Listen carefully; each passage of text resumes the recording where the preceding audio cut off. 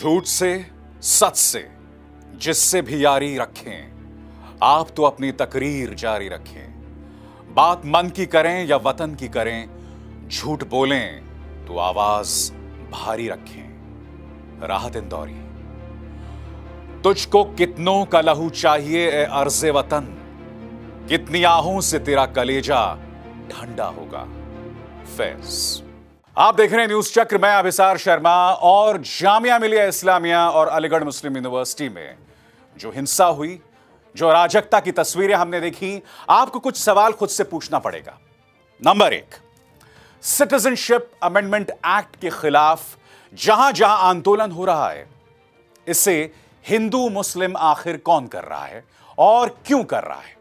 सवाल नंबर दो जो आपको पूछना पड़ेगा, कि जो हिंसा की तस्वीरें आ रही हैं इस हिंसा के पीछे कौन है? कौन दागदार कर रहा है इन प्रदर्शन को? कौन आखिर इस प्रदर्शन के पीछे जो लोग शांतिपूर्ण तरीके से आगे बढ़ रहे हैं, उन्हें बदनाम कर रहा है? ये तमाम सवाल आपको खुद से पूछने पड़ेंगे। मगर सबसे पहले, हिंसा को लेकर फ़र्क और खुलेआम फ़र्क वो मैं आपको दिखाना चाहता हूँ। प्रधानमंत्री नरेंद्र मोदी दुमका में थे, झारखंड में। जी हाँ, चुनावी रैली कर रहे थे क्योंकि झारखंड में चुनाव होने हैं। जामिया जल रहा है। अलीगढ़ मुस्लिम यूनिवर्सिटी में अराजकता है। असम नॉर्थ ईस्ट में अराजकता है। मगर प्रधानमंत्री झारखंड में चुनावी रैली कर रहे हैं।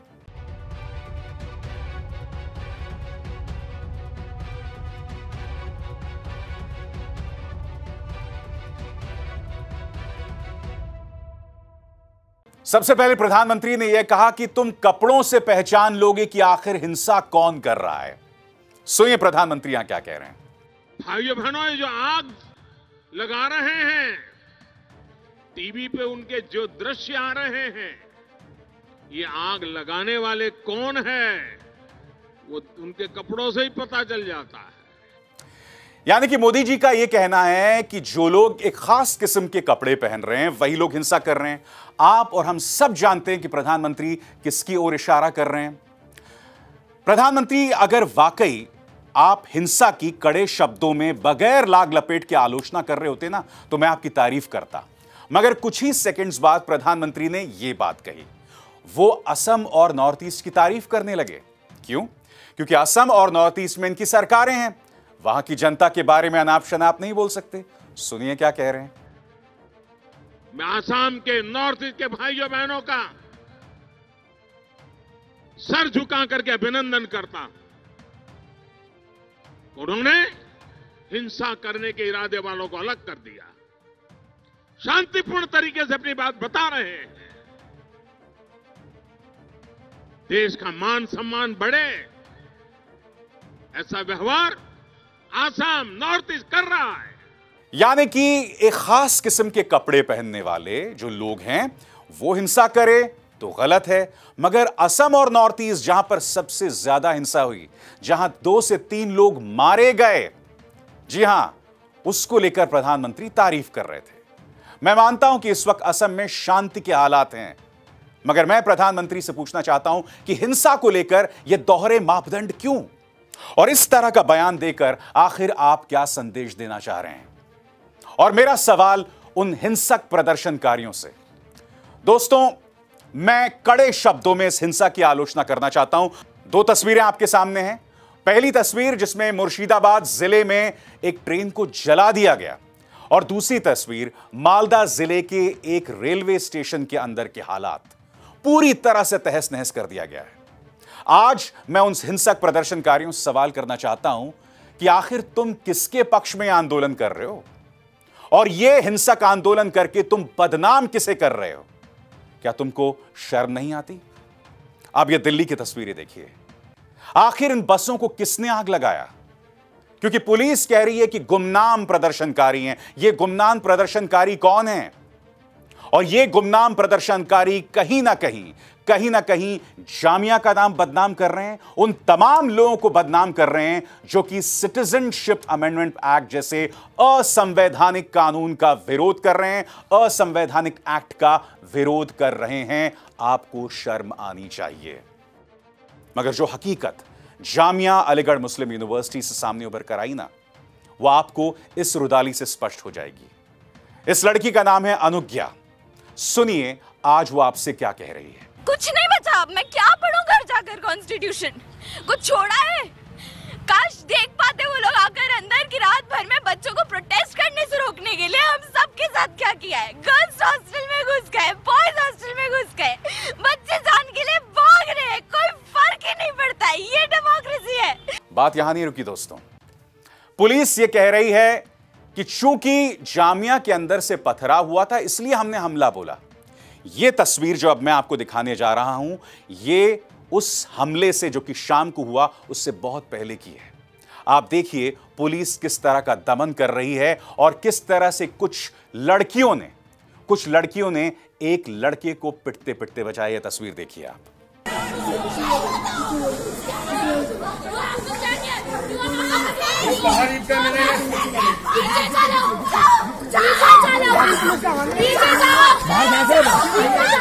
बाहर ले लो आजा आजा बाहर आजा आजा आजा आजा आजा आजा आजा ओ बाहर ले लो बाहर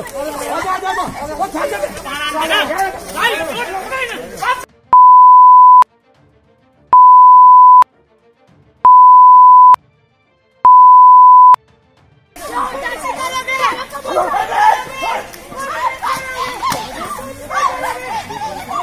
बात यहाँ नहीं रुकी। अब यह तस्वीर देखिए। बच्चे जो हैं, हाथ उठाकर परेड करवाया जा रहा है। पुलिस किस तरह से इनको धमका रही है? अब आप देखिए एनडीटीवी का यह क्लिप यह रिपोर्ट, जिसमें छात्रों को हाथ उठाकर एक तरह से ढकेला जा रहा है और एक पुलिस वाला ज़बरदस्ती कर रहा है। देखिए यह video.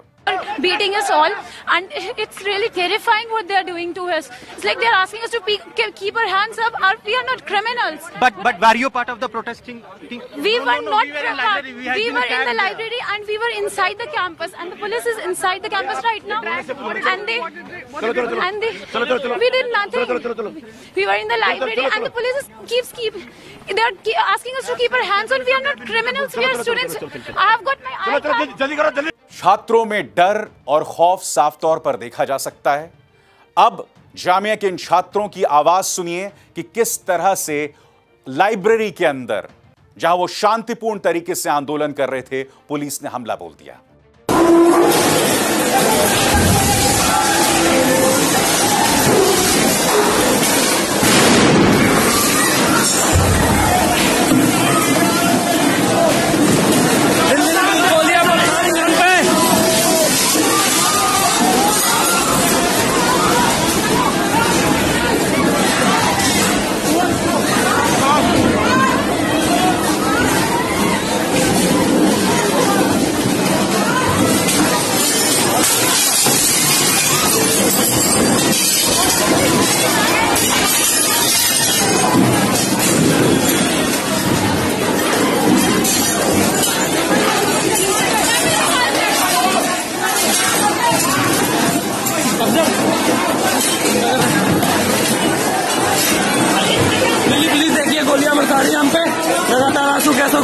रही हैं यहाँ पे। ये लाइब्रेरी में घुसकर सबसे अजीब और अचरज भरी बात यह कि धार्मिक स्थलों तक को नहीं बख्शा गया। यह सिक्योरिटी गार्ड बता रहा है कि किस तरह से एक मस्जिद के अंदर पुलिस ने एक्शन किया। क्या इन सवालों का किसी के पास कोई जवाब है? सुनिए। पुलिस वाले ने पुलिस वाले ने मारा तो मैं बोला कि इमाम साहब को मत मारो। मैं ड्यूटी में हूँ मैं हटा रहा हूँ। इमाम साहब आप जाइए। इमाम साहब बोला कि मस्जिद में मत आइए। उनको मारा उसके बाद मेरे को गाली दिया फौजी है। इसके बाद मेरे को उठा के रोड में मेरे को पुलिस वाले ने दस लोगों ने मिल के मारा डंडा डंडा। अच्छा कहाँ कहाँ मारा आपको? ये मारा है। ये सब यहाँ मारा है। हाथ में भी है। हाथ में हाथ में हाथ में। हाथ दिखाओ और ये ये मारा है। ये ये है। अजीबोगरीब बात है कि पुलिस अपनी तरफ़ से दो थ्योरीज दे रही है। पहली थ्योरी आपके सामने स्क्रीन पर न्यूज़ 18 सीएनएन न्यूज़ 18 की थ्योरी जिसमें पुलिस ये साफ़ तौर पर कह रही है कि दरअसल यह हिंसा बाहरी लोगों का काम है। बाहरी लोगों का काम। तो मेरा सवाल आपसे ये कि अगर ये काम बाहरी लोगों का है तो जामिया के अंदर इस तरह से घुसकर आप छात्रों पर दमन क्यों कर रहे थे? और आप दूसरी थ्योरी देखिए। यह है डीएस रंधावा ये वही शख्स हैं जो आज से कुछ दिनों पहले जब जेएनयू के छात्र मैदान में थे तब पत्रकारों पर अंकुश लगा रहे थे तस्वीर लेने से। एनडीटीवी को दिए गए इंटरव्यू में इन्होंने कहा कि हमने जामिया के अंदर इसलिए हमला बोला क्योंकि छात्र अंदर से पथराव कर रहे थे। We were uh, uh, dispersing the protesters, there was a pelting from uh, the university campus because हालाँकि उसी स्वर में यह भी कहते हैं कि कुछ छात्र जिन्होंने अपने चेहरे छुपाए हुए थे, छात्र शब्द का इस्तेमाल नहीं किया उन्होंने उन्होंने कहा कि कुछ गुमनाम प्रदर्शनकारी। हम यही तो सवाल कर रहे हैं, जिन्होंने बसों को जलाया, जो छात्र या जो वो चेहरे थे, वो किरदार थे, जिन्होंने अपना चेहरा छुपाया हुआ तो आखिर हैं कौन? और पुलिस ने इन बसों को जलाने दिया ही क्यों? क्या वो कंट्रोल नहीं कर सकती थी? उन अराजक तत्वों को जो बसों को चला रहे थे। और सारा दमन जो है, आप शांतिपूर्ण छात्रों पर कर रहे थे। मैं ये भी जानना चाहता हूँ पुलिस से कि अगर कुछ छुपाने को नहीं है तो आप मीडिया को अंदर घुसने से क्यों रोक रहे थे? ये एक छोटी सी क्लिप है, इसमें आप देखिए, ना सिर्फ़ पुलिस रोक रही है, बल्कि हाथ भी मारती है पत्रकार के ऊपर। देखिए।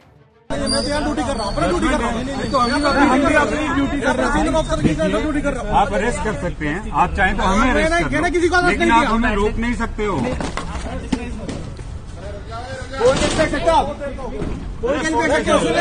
शाम से रात तक ये पूरा एक्शन हुआ, जिसमें पुलिस ने बगैर इजाज़त लिए हमला बोल दिया जामिया के अंदर।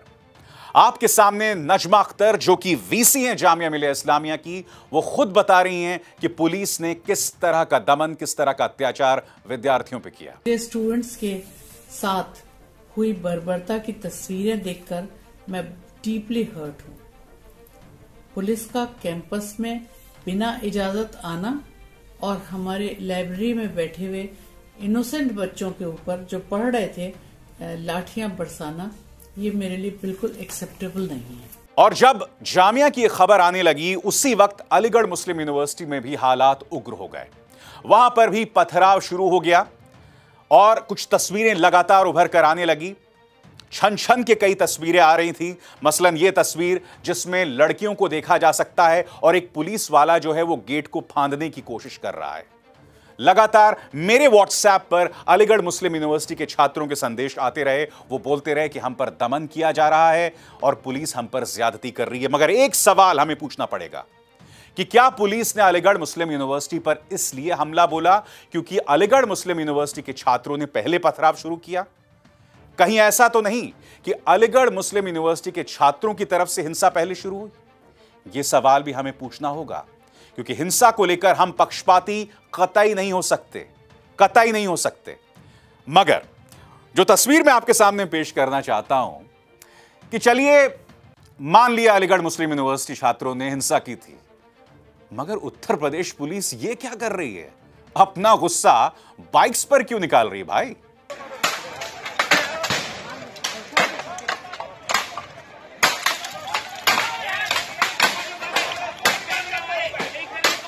सच तो यह दोस्तों कि पुलिस की दोहरी छवि है। जब वकील सामने होते हैं तो मिमियाने लगते हैं। और आप जानते हैं कि इसी न्यूज़ क्लिक के मंच पर मैं पुलिस के साथ खड़ा हुआ था जब वकीलों ने उन पर हमला बोला था। मैंने कई शोज़ किए हैं उनके पक्ष में।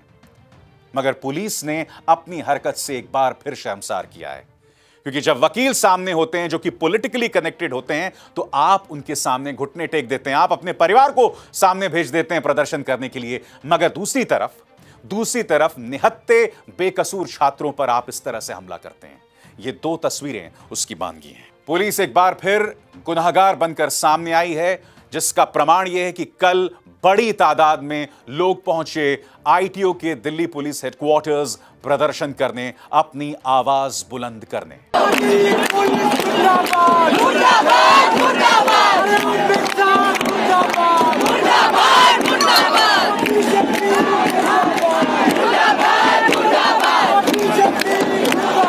मैंने आपसे कार्यक्रम की शुरुआत में कहा था कि इस मुद्दे को हिंदू मुसलमान कौन कर रहा है? इसमें आग कौन लगा रहा है? कार्यक्रम की शुरुआत में मैंने आपको बता दिया कि प्रधानमंत्री ने कितनी खूबसूरती से एक खास किस्म के कपड़े पहनने वाले लोगों पर हमला बोल दिया, उन पर इशारा कर दिया। अब आपके सामने ये दो चेहरे, बीजेपी नेता बैजयंत पांडा और आरएसएस और बीजेपी सांसद राज्यसभा से राकेश सिन्हा। ये लोग क्या कह रहे हैं, किस तरह की आग लगा रहे हैं, आप खुद सुनिए। राकेश सिन्हा क्या बोल रहे हैं? सड़कों पर डायरेक्ट एक्शन करने वाले जो आगजनी कर रहे हैं, वे भूले नहीं। हमने इतिहास से बहुत कुछ सीखा है। नरेंद्र मोदी सरकार का सिटीजनशिप अमेंडमेंट एक्ट को चुनौती देने वाले कौन हैं और उनकी मंशा क्या है, हम जानते हैं। समय रहते गलती सुधार लें। 1946 नहीं है 2019 है। जी हाँ, ये हमें याद दिला रहे हैं 1946-47 में बंटवारे के दौरान जो हिंसा हुई थी उसकी। उस बात की धमकी दे रहा है ये शख्स, आरएसएस से जुड़ा ये शख्स। वो आरएसएस जिसने 1942 के भारत छोड़ो आंदोलन में अंग्रेज़ों का साथ दिया था और ये देश में बंटवारे के इतिहास को दोहराने की बात कर रहा है। इन्हें शर्म आती है इस तरह से हिंसा भड़काना।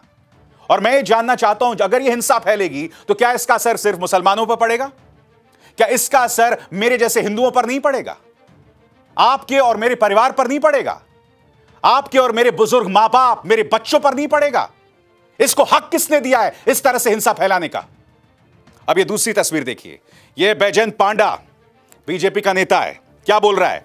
The vandalism and arson by protesters should make it clear to anyone who still have any doubts why Citizenship Amendment Act and NRC are needed. These people are far from being the concerned citizens they claim to be. यानी कि जो लोग पश्चिम बंगाल में या जामिया में हिंसा कर रहे हैं, ये बहुत ज़रूरी है उसके चलते एनआरसी लाया जाए और सिटीजनशिप अमेंडमेंट एक्ट लाया जाए। इस कम अक्ल बीजेपी नेता को यह नहीं पता कि अगर लॉ एंड ऑर्डर का प्रॉब्लम होता है तो आप इस तरह के एक्ट्स नहीं लाते। आप कानूनी तौर पर अंकुश लगाते हैं, पुलिस मुस्तैदी लाए, गृह मंत्री जवाबदेह बने। अगर हिंसा होती है तो कानून अपना काम करे।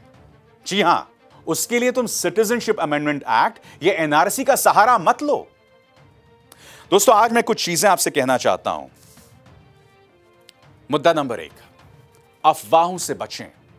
क्योंकि अगर ये अफवाहें होंगी तो वो लगातार हितों को खराब करती हैं, जो मुद्दे होते हैं, उनसे जुड़े हितों को वो नुकसान पहुंचाती है।